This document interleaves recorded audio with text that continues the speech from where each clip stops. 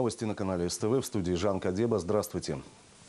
Открытый диалог и новые возможности для белорусско-российского сотрудничества. Сегодня в Минске бизнесмены и официальные лица Ульяновской области встретятся с белорусскими партнерами в рамках экономического форума. Ожидается, что нынешние переговоры станут хорошим импульсом для дальнейшего развития двусторонних отношений.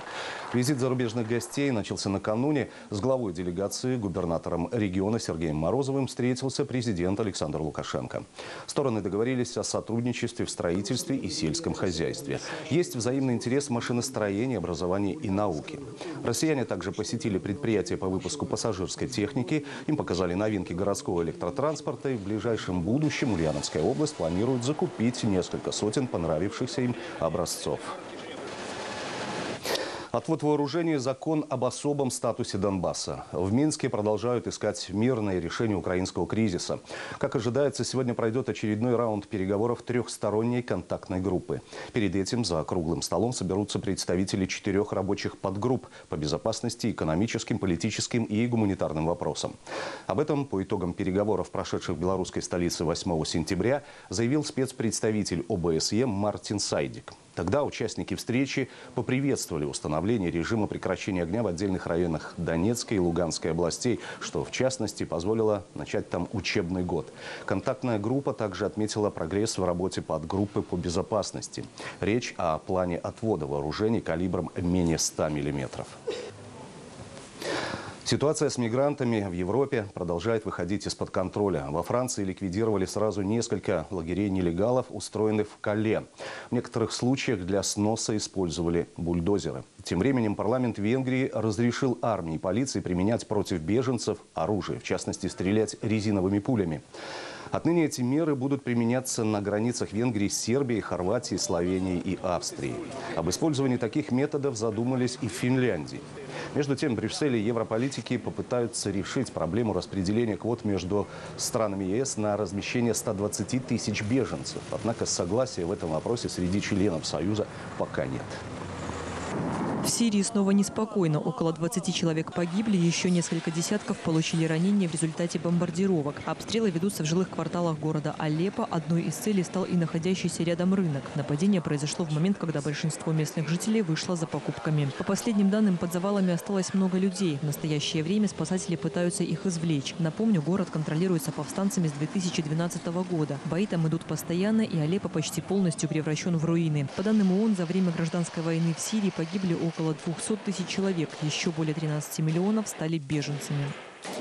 На Филиппинах неизвестные похитили туристов. Инцидент произошел на острове Самал. В одном из отелей вооруженные люди напали на четырех человек. Затем они посадили заложников в катер и уплыли. Вслед за злоумышленниками отправились несколько кораблей военно-морского флота. По уточненной информации, среди похищенных туристы из Канады и Норвегии. Белорусов среди них нет. Что послужило мотивом захвата заложников, пока неизвестно. По этому делу началось следствие. Отмечу, в стране действует террористическая группировка Абусяяв. Она основана еще в 90-х годах, однако ответственность за случившееся она на себя пока не взяла.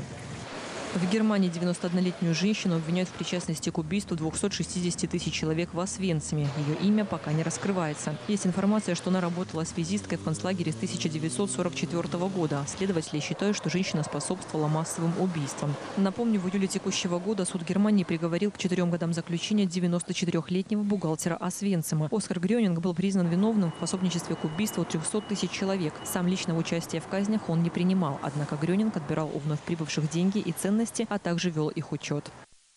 В Испании состоялся курьезный фестиваль под названием «Лужа». Тысячи людей собрались на одном из Канарских островов, чтобы выловить руками рыбу в грязной воде. Местный водоем буквально превращается в болото, когда там пытаются поймать рыбу. Многие используют плетеные корзины, но кто-то все же пытается сделать это голыми руками. Анастасия Колесник, телекомпания СТВ. А взгляд в будущее. Форум молодых журналистов стартует сегодня в Минске. Он соберет более 150 юных акул пера со всей республики. В течение двух дней начинающих работников средств массовой информации ждут тренинги, которые пройдут на базе ведущих масс-медиа Беларуси. В программе и пленарное заседание. В его рамках состоятся встречи с министром информации Лилией Ананич, заместителем главы администрации президента Игорем Бузовским, а также руководителями крупнейших СМИ нашей страны.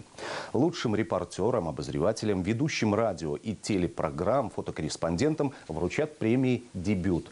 А в заключении форума участники пообщаются на тему «Журналистика глазами молодых». В Беларуси день без автомобиля. Всех водителей сегодня призывают не садиться за руль, а выбрать более экологичный способ передвижения. Например, добраться до работы можно пешком или на велосипеде. Между тем, сегодня по всей стране пройдут многочисленные акции. Так, в Минске эпицентром экологического праздника станет Лошадский парк. Здесь посетителей ждет экскурсионный эко-велопробег, интеллектуальные и познавательные игры, эстафеты, детские мастерские. Продемонстрируют и экологически чистые виды транспорта, такие как электровелосипед и электромобиль. Родился в рубашке или в миллиметре от смерти. Огромное стекло едва не убило жителя Саудовской Аравии. Камера наружного наблюдения зафиксировала, как оно упало на мужчину, который не спеша прогуливался по улице. Стекло задело его плечо и головной убор. Однако сам везунчик чудом остался цел. Пострадавший смог самостоятельно встать и поспешно направился прочь от злополучного места. И только полминуты спустя из здания выбежали виновники происшествия. И, судя по всему, предложили оказать пострадавшему первую помощь. Между тем, в интернете аравийцы уже крестили самым везучим пешеходом в мире. Такова информация на этот час. Звоните и делитесь своими новостями по телефонам горячей линии 290 6600 или единица 600 700. Всего доброго и до встречи в 13.30.